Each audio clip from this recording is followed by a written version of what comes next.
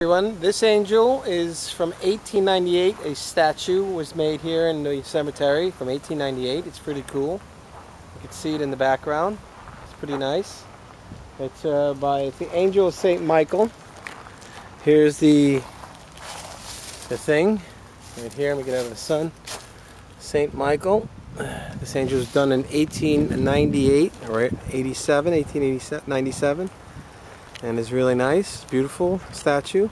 Overlooks the cemetery here in Malmo. You can come check it out. It's really nice. They're open until 9 o'clock every night. 10 o'clock to 9 o'clock. Really nice angel. Just focus in on the face a little bit.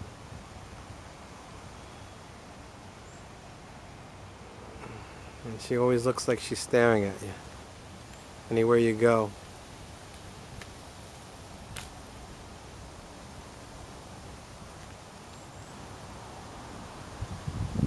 Hashtag Mike Merone, subscribe down below.